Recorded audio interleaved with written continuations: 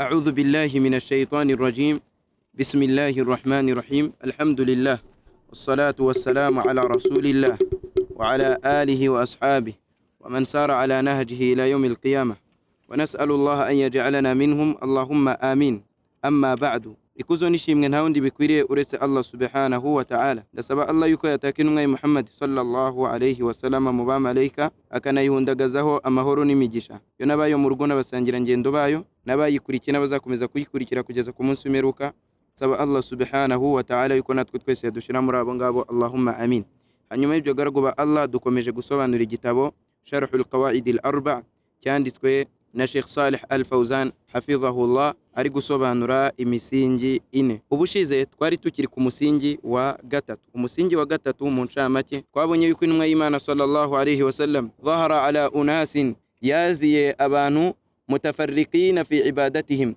باري وتاندوكاني مميسنجر يابو. منهم من يعبد الملائكة. مريبو هرابا سنگاغا أبا ملائكة. ومنهم من يعبد الأنبياء. نمريبو هرابا سنگاغا إنهم والصالحين. ندسي ننونغاني ومنهم من يعبد الأحجار والأشجار. نمريبو هرابا سنگاغا amabuye ndetse n'ibiti. Wa minhum man ya'budu ash-shamsa wal qamar. No muri bo hari abasengaga izuba ndetse n'ukwezi. Hanyuma aba bose iyo ngiyo ni mukaddima yo kutwereka uko abantu bariho muri ibyo bihe. Abo bose rero hamwe n'iyo misengere yabo yose qatalahum rasulullah sallallahu alayhi wa sallam. Intumwa y'imana sallallahu alayhi wa sallam yarabarwanyije. Walam yufarriq bainahum ntabwo yigeze batandukana nya ngo ivuge ngo uyu nguyu asenga ibintu bizima. Turahidhun murabona ko shekhe muri ibi byose yatubwiye yatweretse abasengaga ibyo abantu bose bahurizaho wenda rimwe na rimwe ko nta mpamvu yo kubisenga. Nk'ibiti amabuye n'ibindi nk'ibyo ngibyo. Arangije nanone azana intumwa n'abahanuzi. Reshi kubera iki? Ni ukubera ko twabonye ko bamwe mu bantu babona ko ibyo ngibyo byo kubisenga byaba ari nta kibazo. Ariko qatalahum rasulullahi sallallahu alayhi wa sallama intumwa y'imana sallallahu alayhi wa sallama yarabarwanyije yufarriq bainahum ntabwo yigeze ibatandukanya. Turangije dutangira kubona dalili za buri bamwe muri abo ngabo. Ubushize shekhe yari amaze kutubwira eh, dalili ya shamsi ndetse na kamara yani ikigaragaza ko basengaga ashamsi wal kamara allah aravuga ngo wa min ayatihi. No mu bimenyetso bye allah subhanahu wa ta'ala allaylu wan nahar nuko allah subhanahu wa ta'ala yashizeho ijoro n'amanywa washamsu wal kamara ndetse n'izuba ndetse n'ukwezi. Allah arangije ati la tasjudu lishamsi wala lilqamar muramenye rwose ntimuzubamire izuba ndetse n'ukwezi. Ubundi iyi aya shekhe yashatse kugarukira kuri ashahid allah tweretse yuko ibyo ari ibimenyetso bye anatwereka ko ari we wabishyizeho arangije atubuza kubigaragira. Iyi aya tatima yayo allah yaravuze ati mu mpera zayo ngo wasjudu lillahi ladhi khalakahunna muzubamire allah subhanahu wa ta'ala we wabiremye. Iyi aya irimo ibintu bibiri. Icya mbere harimo dalala iri khasa harimo gihamya y'umwihariko kuri ashamsi wal kamar ku zuba ndetse n'ukwezi. Allah ati la tasjudu lishamsi wala lilkamar muramenye ntimuzubamire izuba ndetse n'ukwezi. Noneho harimo na dalalatu amma harimo na gihamya iri rusange ku bintu byose. Allah yagize ati wasjudu lillahi alladhi khalaqahunna ngo muzasujudire muzubamire allah subhanahu wa ta'ala we waremye ibyo ngibyo nanone allah subhanahu wa ta'ala yaravuze ngo anna almasajida lillah ngo kandi koko mu by'ukuri imisigiti ni inzu z'uwiteka allah subhanahu wa ta'ala la tasjudu ma'a allahi ahada muramenye muri iyo misigiti ntimuzagira icyo mwubamira hamwe na allah subhanahu wa ta'ala la tasjudu ma'a allahi ahada muramenye ntimuzagira icyo mwubamira hamwe na allah subhanahu wa ta'ala muri iyo misigiti nyuma shekhe amaze kutubwira ibingibi yasozereje ku jambo aho yagize ati twabujijwe ibingibi n'intumwa y'imana sallallahu alayhi wasallama sadda dhari'ati shirk kugira ngo intumwa y'imana sallallahu alayhi wasallama itubuze inzira zituganisha kuri shirk aravuga ngo warasulu sallallahu alayhi wasallam n'intumwa y'imana sallallahu alayhi wasallama jaa binnahi ani shirki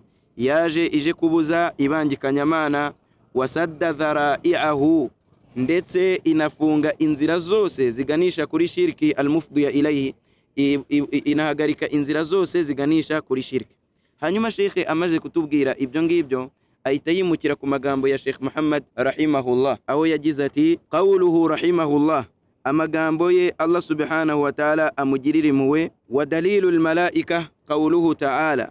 Ngo na dalil cyangwa se gihamya ivuga ku bijyanye no gusenga abamarayika naho Allah subhanahu wa ta'ala yagize ati wala ya'murakum an tattakhidhu almalaikata wan nabiyina arbaba wala ya'murakum ngo Allah subhanahu wa ta'ala ntabwo abategeka an tattakhidhu almalaika ko mufata abamarayika wan nabiyin ndetse n'intumwa n'abahanuzi arbaba ngo mubigire ibigirwamana wala ya'murakum Allah subhanahu wa ta'ala ntabwo abategeka nta nubwo yanabategetse. An tattakhidhu almalaika ko mufata abamarayika wanabiyin ndetse n'intumwa. Arbaba mukabigira ibigirwamana bisengwa mu cyimbo cya Allah subhanahu wa ta'ala. Nanone aha ngaha murabona ko Allah subhanahu wa ta'ala atweretse ko atigeze adutegeka gusenga ibi biremwa bye abamarayika ndetse n'intumwa. N'akazi kabyo ni cyo bibereyeho ntabwo ari ugusengwa. Iyi aya iboneka muri surati ali imran aya mirongo inani. Shekh aravuga ngo shekh saleh hafidhahullah aravuga ngo iyi dalili cyangwa se iyi gihamya dalla ala anna hunaka yagaragaje ko hari man abada almalaika abasenga abamarayika wanabiyina ndetse n'intumwa n'abahanuzi. Wa anna dhalika shirkun. Kandi ko ibyo ngibyo ari ibangikanya mana kandi ko ibyo ngibyo ari ibangikanya mana turasubiramo amagambo ya Sheikh Salih Al-Fawzan Sheikh Salih Al-Fawzan hafidhahullah yaravuze ati dalla ala anna hunaka man abada almalaika iyi aya yagaragaje ko hari abantu basenga abamarayika wanabiyina ndetse n'intumwa n'abahanuzi wa anna dhalika shirkun ko ibyo ngibyo ari shirki wa ma mahallu dhalika ni ikihe kigaragaza ko ari shirki nuko Allah yavuze ati ntabwo yigeze abategeka gufata abamarayika ndetse n'intumwa n'abahanuzi ngo mubagire iki? Arubaba ibigirwamana mubasenge.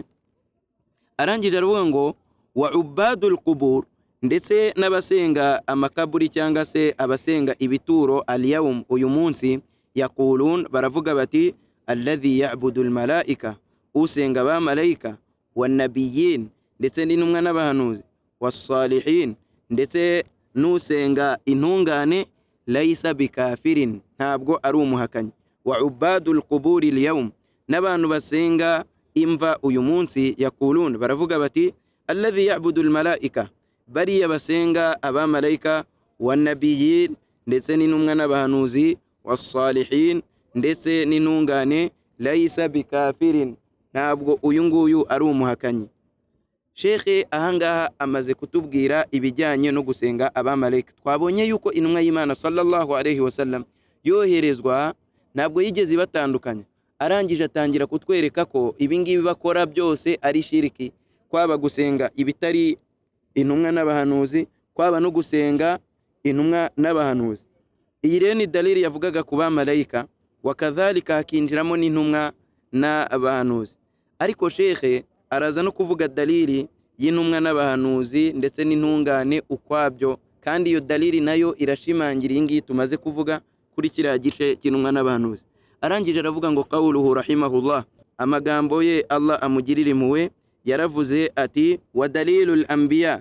Na gihamya ivuga ku bijyanye no gusenga intumwa ndetse n'abahanuzi na naho Allah subhanahu wa ta'ala yagize ati muri surati al-Ma'idah aya ijana na cumi na gatandatu. Allah ati وإذ قال الله يا عيسى بن مريم غو إبوكا أبغو الله سبحانه وتعالى يبغي رقا عيسى بن مريم.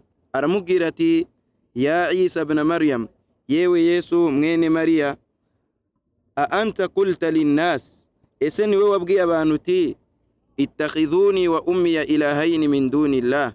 نمونفتي نجي نماما وانجي متجري إبجير مانا متيمبوشا الله سبحانه وتعالى.